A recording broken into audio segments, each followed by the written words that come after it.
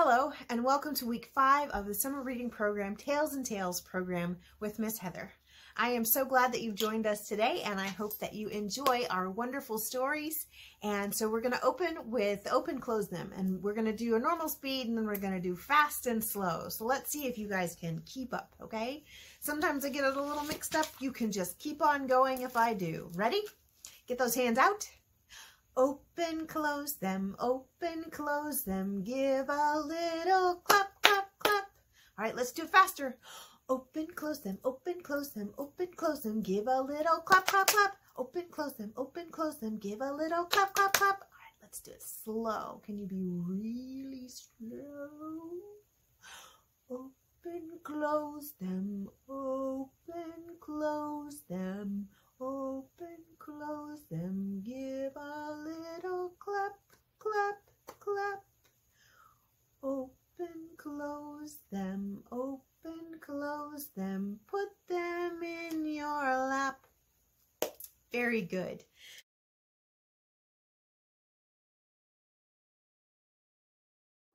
Story time that has to do with pets. And I'm sure some of you have pets, maybe all of you have pets. My favorite pet was a bunny rabbit, so I thought we would do a little bunny rabbit finger play. It is called Here is a Bunny. And so we're going to do with your two little fingers up. And then you've got your little hole right here. And that bunny is going to wiggle around and listen real good with its, with its ears. So it's, here's a little bunny with ears so funny and here's a little hole in the ground. When a, no when a noise he hears, he pricks up his ears and hops into the hole so round because he's hiding. All right, so let's see if you can do this with me. Are you ready? Here's a little bunny with ears so funny. Here's a little hole in the ground. When a noise he hears, he pricks up his ears and hops into the ground. Very good. What Pet to Get by Emma Dodd.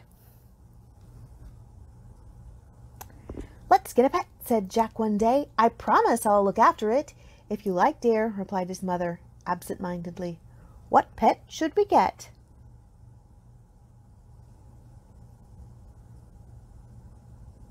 Jack thought about it for a little while. I think we should get an elephant, he announced. I could ride it to school. Hmm, an elephant would be nice, dear, said Mum but not very practical. How would we take it on holiday? He's nice enough to carry the purse or backpack. On the roof rack, of course, said Jack. Mm, I don't think so, dear, said Mum. It might squash the car. Hmm. Well, then maybe not an elephant then, said Jack. What about a lion? he said. I'd remember to feed him every day. Hmm, that would be super dear, said Mom, but lions do have very big appetites. Hmm, I think he might be eyeing the postman out the window. And anyways, it would frighten the postman. Hmm, well, I hadn't thought of that, said Jack. Yikes. Jack thought some more. I think we should get a polar bear, he said. He would make a great playmate, especially in winter.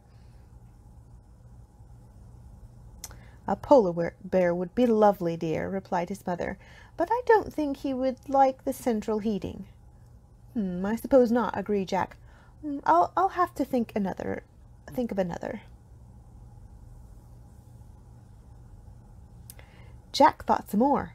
What pet to get? Could we get a Tyrannosaurus Rex? he asked. I could take it for walkies. that would have been a great idea, replied his mum, but unfortunately, the Tyrannosaurus Rex has been extinct for 65 million years. What a shame, said Jack. Well, then, what about... Hmm... What pet? A giraffe, too tall, a rhino, too wide, a buffalo, Too smelly. A crocodile. Too snappy. Look at those teeth. I suppose a shark is out of the question. Yes, dear, said Mom. Perhaps you should try something less exotic.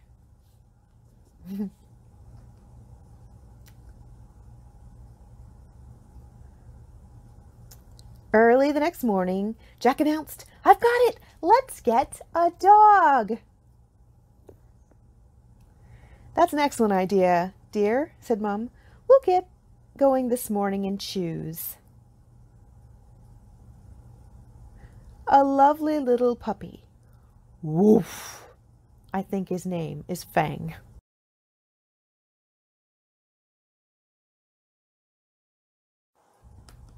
To Bathe a Boa by C. Imbior Kudrna.